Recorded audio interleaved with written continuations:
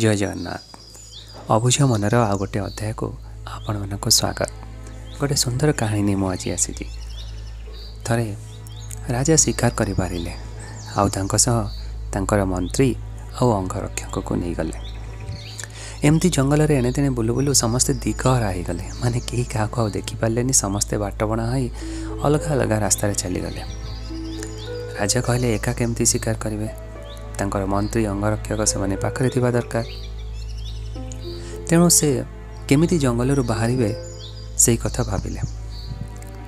ଏମିତି ଆଗେଇ ଚାଲିଥାନ୍ତି ଏମିତି ଗୋଟେ ରାସ୍ତାରେ ପହଞ୍ଚିଲେ ଯେଉଁଠି ରାଜା ନିଜେ ଭାବିପାରିଲେନି ବାଁକୁ ଯିବେ କି ଡାହାଣକୁ ଯିବେ ଯିବେ କି ସିଧା ଯିବେ। ସେହି ସମୟରେ ତାଙ୍କର ନଜର ପଡ଼ିଲା ଜଣେ ସାଧୁ ସନ୍ଥ। ଯିଏକି ଅନ୍ଧ ହେଲେ ତପସ୍ୟାରେ ବସିଥାନ୍ତି। ତାଙ୍କୁ ଯାଇ ମହାରାଜା ପଚାରିଲେ ହେ ଜ୍ଞାନର ସାଗର ମହାଜ୍ଞାନୀ ମୋତେ କୁହନ୍ତୁ ମୁଁ କେଉଁ ପଟେ ଗଲେ ଜଙ୍ଗଲରୁ ବାହାରକୁ ଯାଇପାରିବି?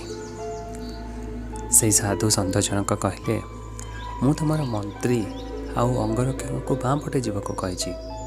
ଆପଣ ବି ବାଁ ପଟେ ଯାଆନ୍ତୁ। ରାଜା ଜଣକ ସନ୍ଥଙ୍କର କଥା ଶୁଣି ବାଁ ପଟେ ଗଲେ। ଆଉ କିଛି ଦୂର ପରେ ଦେଖିଲେ ତାଙ୍କର ମନ୍ତ୍ରୀ ଏବଂ ଅଙ୍ଗରକ୍ଷକ ସେମାନଙ୍କୁ ଅପେକ୍ଷା କରିଛନ୍ତି। ରାଜାଙ୍କୁ ଅପେକ୍ଷା କରିଛନ୍ତି। ରାଜାଙ୍କୁ ମହାମନ୍ତ୍ରୀ ଦେଖି କହିଲେ ଏଥର ଚାଲନ୍ତୁ ଶିକାର ପାଇଁ ଯିବା। କିନ୍ତୁ ରାଜା ଜଣକ କହିଲେ ନାହିଁ ଶିକାରରେ ଆଉ ମନ ନାହିଁ। ମନଟା ମୋର ସେହି ମହାରଥୀ ସାଧୁ ସନ୍ଥଙ୍କ ପାଖରେ। ସେ ତ ଅନ୍ଧ। ହେଲେ କେମିତି ଜାଣିଲେ? ମହାମନ୍ତ୍ରୀ ଆଉ ଅଙ୍ଗରକ୍ଷକ ତାଙ୍କୁ ପଚାରିଛନ୍ତି ବୋଲି। ସେ କେମିତି ଜାଣିଲେ କି ତମେମାନେ ମୋର ଅଙ୍ଗରକ୍ଷକ ଆଉ ମୋର ମନ୍ତ୍ରୀ? ଅସ୍ତ୍ୟବସ୍ତ ମନକୁ ନେଇ ମହାରାଜା ଯାଇ ସେଇ ସନ୍ନ୍ୟାସୀଙ୍କ ପାଖରେ ପହଞ୍ଚିଗଲେ। ମହାରାଜା ଯାଇ ସନ୍ନ୍ୟାସୀଙ୍କୁ ନିଜର ମନ କଥା ପଚାରିଲେ। ଆଉ ସନ୍ନ୍ୟାସୀ ଜଣକ କହିଲେ ମୁଁ ସିନା ଅନ୍ଧ ହେଲେ ମଣିଷର ବ୍ୟବହାର ମଣିଷକୁ ପରିଚୟ ଦେଇଥାଏ। ଆପଣଙ୍କର ଅଙ୍ଗରକ୍ଷକ ଆସି ପଚାରିଲା ଏ ବୁଢ଼ା ଜଙ୍ଗଲରୁ ବାହାରିବାକୁ ରାସ୍ତା କେଉଁଟା? ଆଉ ଆପଣଙ୍କର ମନ୍ତ୍ରୀ ଆସି ପଚାରିଲା ବାବା ମନ୍ଦିରରୁ ବାହାରିବାକୁ ରାସ୍ତା କେଉଁଟା?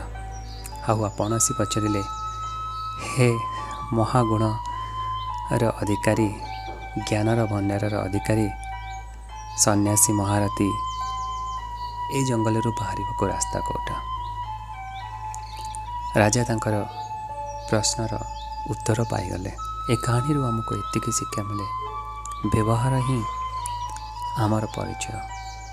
ତେଣୁ ସବୁବେଳେ ସମସ୍ତଙ୍କୁ ସମ୍ମାନ ଦେଇ ଶିଖିବା ଜୀବନରେ କାହାକୁ ଖୁସି ନ ଦେଇପାରିଲେ ବି ଦୁଃଖ ଦେବାନି। ଜାଣି ଶୁଣି କାହା ମନରେ କଷ୍ଟ ଦେବାନି ଯଦି କାହାଣୀଟି ଆପଣମାନଙ୍କୁ ଭଲ ଲାଗିଥାଏ ତାହେଲେ ମୋ ଚ୍ୟାନେଲକୁ ଲାଇକ୍ ସେୟାର ସବସ୍କ୍ରାଇବ୍ କରନ୍ତୁ ମୁଁ ନିଶ୍ଚୟ ଆସିବି ଆପଣମାନଙ୍କୁ ନୂଆ କାହାଣୀ ନୂଆ କଥା ନେଇ ଖୁବ୍ ଶୀଘ୍ର ଆପଣମାନଙ୍କ ପାଇଁ ଜୟ ଜଗନ୍ନାଥ